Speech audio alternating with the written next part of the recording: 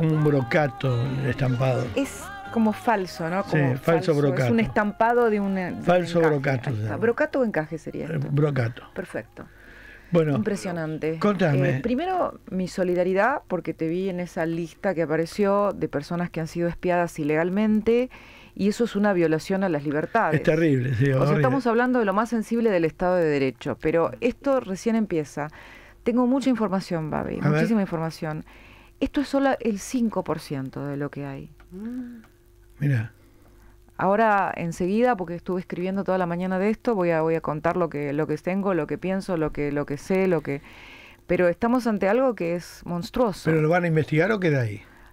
Van a, están buscando llegar arriba de esto. Por favor, porque yo como víctima, Es que, eh, a ver, Babi, estamos hablando de, de tanta información, tanta información, que hoy nada más hablamos de, de más de 3 terabytes eh, de información. Para que vos te des una idea, una computadora de gamer que están preparadas para, para manejar gran cantidad de peso eh, de información no alcanza. 1.700 personas había. Eh, 1196 hasta ahora, pero te, dijo, te digo que esto que se analizó es apenas el 5% de lo que hay, Babi. Uf, O sea, multiplicar son 20.000 personas. No quedó nadie afuera, ¿Entendés? entonces, o sea, Entonces Claro. estamos hablando de algo... ¿y que- de dónde que no- viene esto? Bueno, justamente, esto no, no, no son una, dos, tres personas. Esto es una estructura montada en forma ilegal para espiar a, a, eh, a Ahora, mucha gente. una pregunta. A ver, mira, yo no, no voy a adelantar todo ahora, pero estamos hablando del padrón completo con cargos y sueldos, más carpetas de personas específicas. Ya. Y tenemos, y además tenemos eh, arriba está Cristina Moró, que manejaban información nuestra, ellos tienen que dar también explicaciones, porque al ciudadano tiene que cuidar la AFI, de no, de no ser espiado. Esto es eh, ni más ni menos Gravísimo. que, que el Estado de Derecho lo que está en juego. Nada menos. Nada menos. ¿Te acordás los que hablan del peligro para la democracia y todo? el peligro Hola. es el otro siempre. Pero, ¿sabes qué me asusta, Cris? Que no lleguemos al fondo, que se quede en la nada como lo de Isaurralde. Eh, mira, acá lo que, lo que yo te puedo decir es que esto, lo que, lo que acaba de pasar, que, que se hayan recuperado mensajes borrados del teléfono, indica que esto eh, no, no, no quedó en la nada. Porque de hecho esto pasa porque se recuperaron mensajes robados de un teléfono. Mensajes borrados, perdón, de un teléfono. A mí me llamó un periodista hace un año, menos. Mirá que te tenemos este, carpeteado. Pero escúchame, grabado. vos me dijiste. Claro. Vos me dijiste, ¿te acordás que me lo dijiste? Eh, no nombremos al periodista porque está- Estamos hablando de, de- de una actividad que se extendió por lo menos en los últimos Extorsión. nueve o diez años Claro. de este tipo de recolección de información. Extorsión, ¿eh? Extorsión directa. Eso tiene que ir preso. Pero si tienen que ir preso y tienen que llegar arriba, por ahí va, tienen que ir preso todo. Esto es más grave que... Por eso pensemos si van a seguir avanzando, porque La voluntad de seguir avanzando está. ojalá. La voluntad de seguir avanzando está. Ahora te pregunto, si gana masa, ¿siguen avanzando? Eh, mirá, vos fíjate que esto Hasta él lo ocurrió, esto ocurrió, esto ocurrió ahora.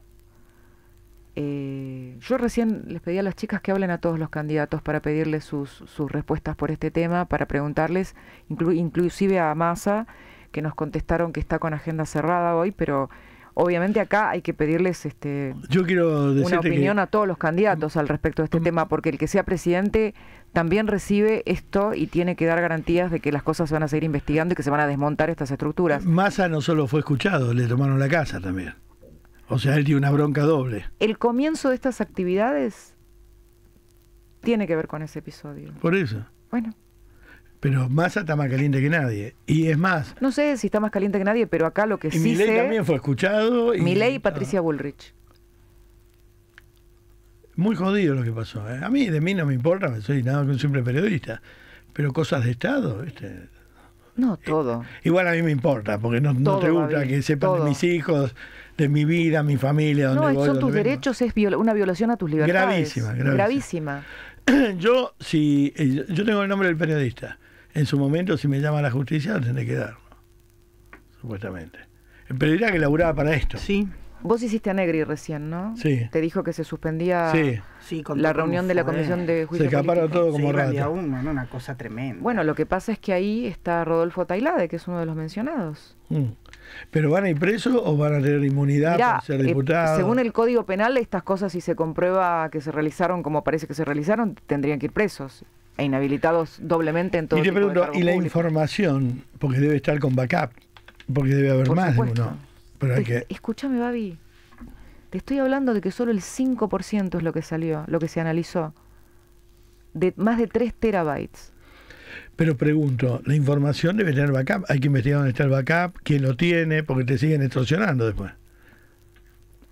Eh, Hay uno y, y el que lo agarra sigue. copia y ahí- Porque se compra información. Vos sabés que cuánto- Yo sé que estos tipos le vendían acá información. estoy viendo el video donde se van por la puertita, por la Ah, sí, los- Se iban como bichos. hormiguitas, Como bichos, sí, son animales. Pero pregunto, porque eh, vos sabés que todos estos tipos venden información Sí, a mucha sí. gente.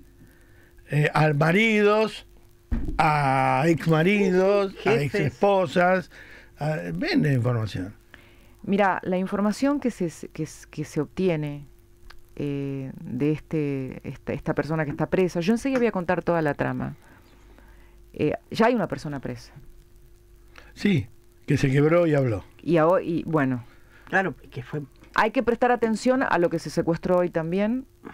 Hay que prestar atención a muchas cosas. La voluntad judicial está. Hay amigos de Máximo metidos, íntimos, que responden a Máximo. ¿Sabes qué pasa? Es que acá vos decís, che, pero qué raro, porque no es que solo son opositores políticos.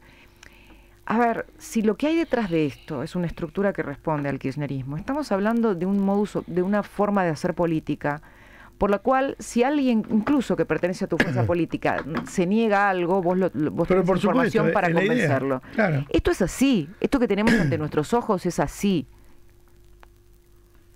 Entonces, eh, no es macana. La compra de medios. Todo, Babi. El otro día me decían, este, hay algunos medios después de las elecciones que se van a vender. mm, Y a lo mejor lo compra algún sindicato.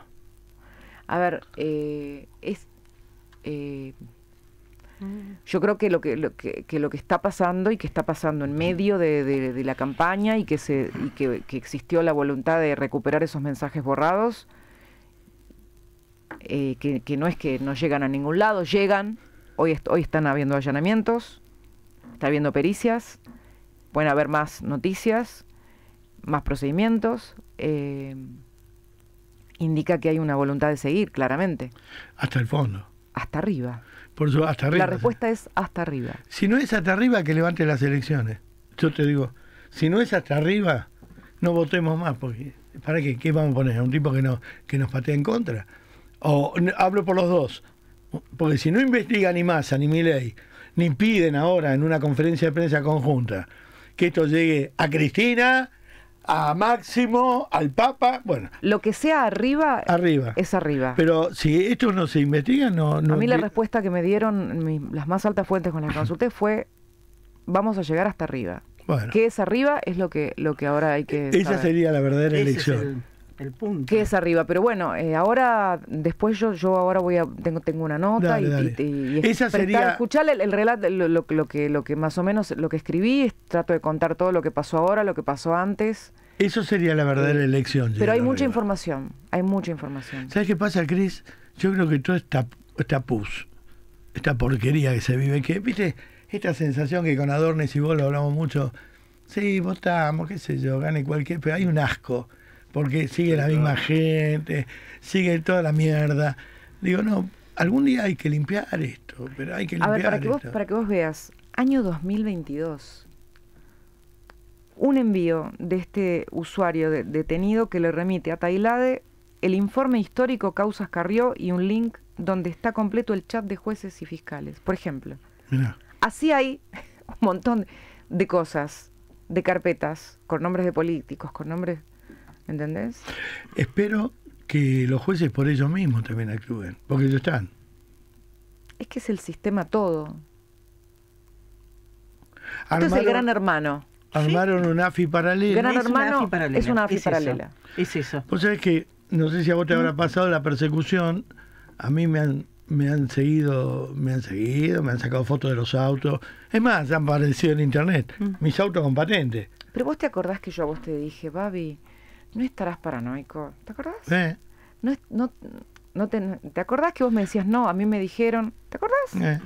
¿Te acordás que te dije? A mí me dijeron, eh, tenemos todo, hace 10 años que te venimos siguiendo, te venimos, si querés, este, bueno, hay que publicar, ¿qué problema hay? Un periodista, ¿no? Que labura para ellos, labura para los servicios. Y bueno, ahora será el momento de que ellos aparezcan y pongan la cara. Había que esperar. En ese momento, es más, ¿te acuerdas que hace tiempo pasaban por mi casa sacando fotos? Yo lo conté. Sí, sacan fotos por mi casa, me llaman los vecinos. Ayer estuvieron sacando de enfrente mandan gente a pasar por la puerta de casa haciendo que hacen él. El otro día, hace, hace seis meses, una mujer, un domingo a la mañana, me contó el custodio, están las cámaras, tengo todas las cámaras, el que pasó seis veces Corriendo. a la mañana, Sacando fotos. esquina a esquina, Con el celular. de esquina a esquina, mirando la casa, las cámaras, sí. No, y aparte cuando, como en el caso de Babi, cuando vivís todavía en un barrio, porque Claro. si vos vivís en un edificio, estas cosas eh, es más despersonalizado, Sí, sí, el, el- claro. el ambiente comunitario. Claro. Vos no sabés, si sacan una foto, pues era... Eh, pero en el caso de cuando, cuando vivís todavía en zona residencial, donde hay casas, esto sí puede ser detectado, ¿me entendés?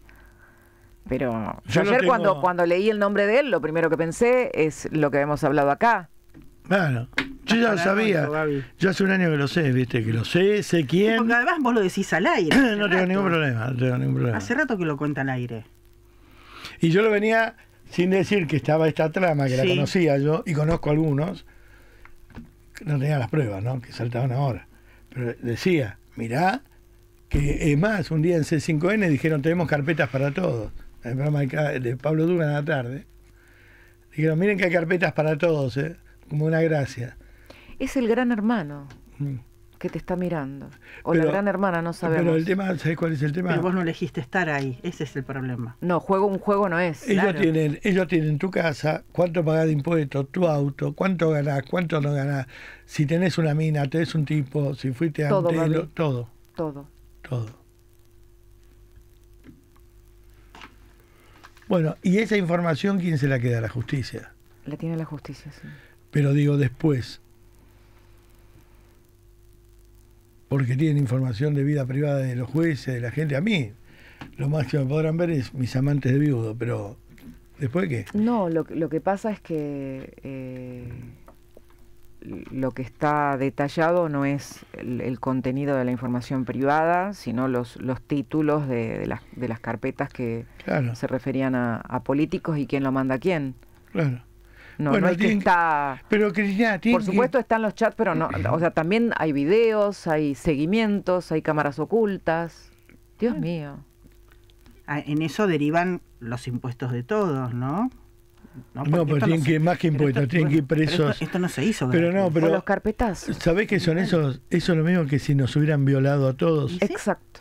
¿Y Que sí? es una Sentí lo violación mismo, es una violación a, a todos. las libertades, pero es una violación. Peor, Claro. peor, porque la libertad, en un en sistema democrático, de república, la violación a la libertad es la peor, la peor violación que puede haber. Es la del Estado de Derecho. Claro, eso es grave, tienen que ir presos todos, ¿eh? pero todos en línea, todos. Te digo una cosa, una situación como esta en otro país te puede llevar a una guerra Es un civil. escándalo. A ver, Babi, hoy lo hablaba con alguien, le digo, el, el Watergate fue eh, una, Una un espionaje de la sede del, del Partido Demócrata. Eh, esto es Peor. decenas de Watergate. Claro, miles de- como Capas de Watergate. Como hacemos toda la corrupción nosotros, superando a todo el mundo, ¿viste? En- El tema es que no lo naturalicemos como hacemos con otras cosas y después haya otra ola. Bueno, está en manos de la oposición. bueno, de la justicia en realidad. Sí, bueno, pero la oposición empuja y la justicia, hay que ver qué justicia tenemos. No, porque esta- si la esto- justicia no actúa, Eh, Babi, eh, po- pongamos esto con nombre y apellido. Esta causa se inicia, la inicia el presidente de la Corte Suprema cuando recibe datos de un celular que él no había, eh, que, que él no había, una línea que él no había sacado y que él había sacado en su nombre. pará, y después también la ratifica el presidente de la Nación cuando se agarra de escuchas ilegales para hacer una denuncia pública. A ver, eh, esto es una... Acordate, hubo dos jueces de la Corte que reciben notificaciones de líneas de celulares que ellos no habían creado, que los lleva a misiones a donde se habían creado en su nombre Ahí empieza. para hacerles el espionaje. Esta causa la inicia el doctor Horacio Rosati. El propio Rosati, que es juez de la Corte, manda las cartas documento, personalmente hizo cola en el correo. Gastó 12 mil pesos para mandar las cartas a personal para que le manden el, el material y él hizo la denuncia ante el juzgado federal, que estaba de turno, que es Martínez de Giorgi, en aquel momento. De ahí viene esto. ¿Me entendés de lo que estamos hablando? Sí, gravísimo. Esta, esta causa la inicia la cabeza de la Corte Suprema, de uno de los poderes de, de la nación. No la inicia la oposición, no es una causa Le iniciada por la pedimos, oposición. por favor, en nombre de todos los que estamos y no estamos, y deben estar, le pedimos por favor que actúen, porque esto es muy grave. Eh, eh, yo te digo, te repito, me parece, yo lo vengo diciendo, yo lo sabía, hace un año que lo sé. Lo sé y sé que se captaban de carpetear a todo el mundo, investigar a todo el mundo, saber todo de todo el mundo. Eh, qué sé yo, yo no puedo hacer nada.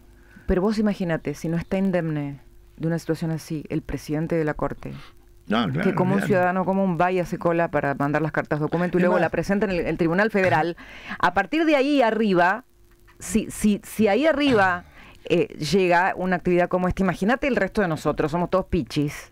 Pero uh, mi abogado en el momento dijo, ¿Qué te dijo? yo tengo denunciado a dos personas, pero me dijo, hacemos con este periodista Mm. una penal por extorsión. Mm. Espera un poco, porque esto va a saltar. Porque ya sabía yo Y que iba a saltar. Claro, porque yo sé que laburan eh, precisamente de, de, de no estar en los gemas. Eh, espera que salte y después vamos.